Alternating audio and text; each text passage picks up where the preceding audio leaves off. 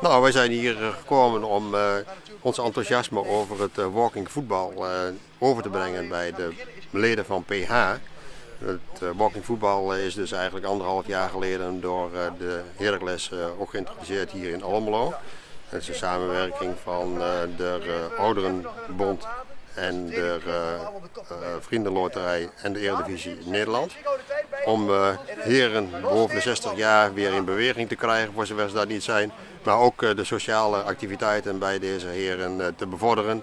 Dat ze niet tussen haakjes achter de graniums terechtkomen en ook niet bij moeders in de keuken blijven zitten. Maar toch, en voor de voeten lopen, hè? En voor de voeten lopen. Maar heel enthousiast dus, zeg maar, gewoon blijven deelnemen aan het maatschappelijk verkeer. Wij zijn gestart met de All Stars. En um, dat is een, um, een, project wat al langer loopt in, uh, in Nederland. Het is vanuit Engeland uh, eigenlijk overkomen waaien uh, naar ons kikkerlandje. Is gestart met allerlei BVO-clubs. En je ziet nu her en der in het land dat ook amateurclubs ermee van start gaan.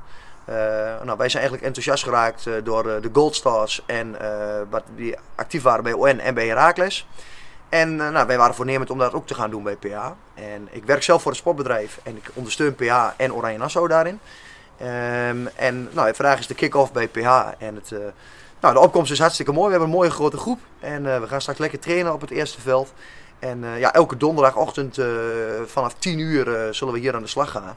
En nou, ik hoop dat er nog vele mensen zich aan gaan melden om de groep zo groot mogelijk te krijgen. Hm. En dan kunnen we straks mooi meedoen met het internationale toernooi van Heracles van de Gold Stars. Dus dat is, lijkt ons prachtig.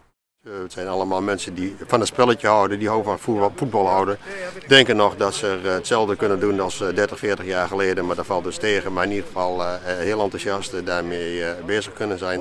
Zowel dus wat betreft het sportieve gedeelte, maar ook het sociale gedeelte. We hebben dus ook bij Herakles gemerkt dat het een hele leuke groep geworden is. Een groep vrienden geworden is.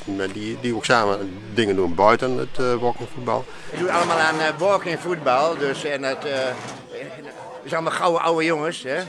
Maar inderdaad, eh, ik zei net al in het voorgesprek tegen u dat uh, wij ook vaak uh, talking voetbal zou kunnen noemen. Hè? Maar, we praten wat af.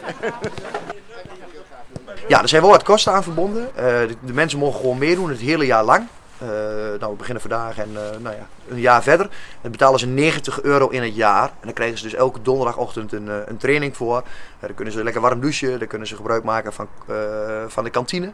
Nou, voor een bakje koffie betalen ze wel. Maar goed, dat houden we zo laag mogelijk. En voor een, een biertje eventueel ook wel. Ja. Maar dat spreekt voor zich, denk ik. We hebben via Almelo Doet Mee hebben we in ieder geval kunnen zorgen dat de contributie uh, voor de mensen die het niet kunnen betalen uh, via hun kunt uh, verlopen. En verder hebben wij vanuit PH nog, nou, nog een budgetje vrij kunnen maken voor mensen die eventueel wat voetbalschoenen nodig hebben of dat soort dingen. Dus daar is ook aan gedacht.